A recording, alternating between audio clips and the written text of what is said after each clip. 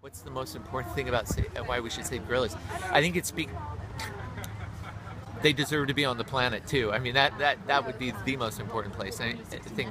I mean, in my mind, I, I've been really fortunate that I've gotten to see all of the great apes in the wild, and when you see them in the wild and you see them It's one of their honeys that the gorillas are being who and what they are, you, you just realize you're looking at something really extraordinary in the world, and the idea of it not being around.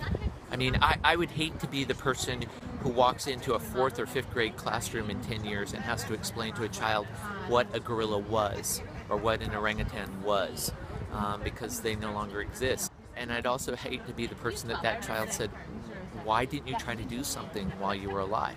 You had a chance to save these. We don't. You're, and you're telling us about them. I mean, it's so.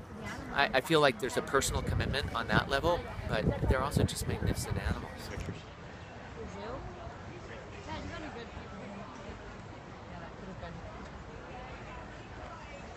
あ。